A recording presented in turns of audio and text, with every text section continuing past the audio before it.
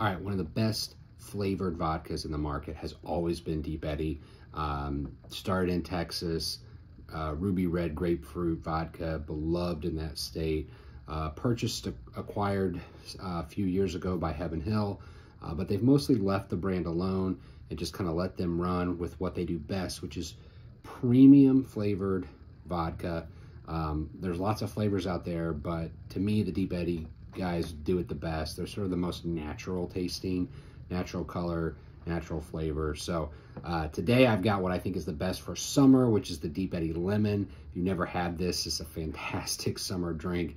Uh, to me, literally just pour it over ice. But uh, if you want to try something different, uh, get any wheat beer. Here I've just got Blue Moon, uh, perfect for summer.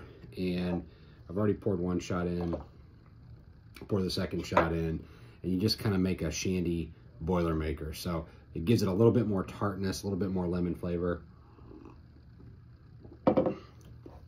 Still going to be light and refreshing, but it's just going to add a little bit more zing to it. And it's a great summer drink. So if you like Blue Moon, you like wheat beer for the summertime, add a couple shots of Deep Eddy Lemon to it, and you can't go wrong. Cheers.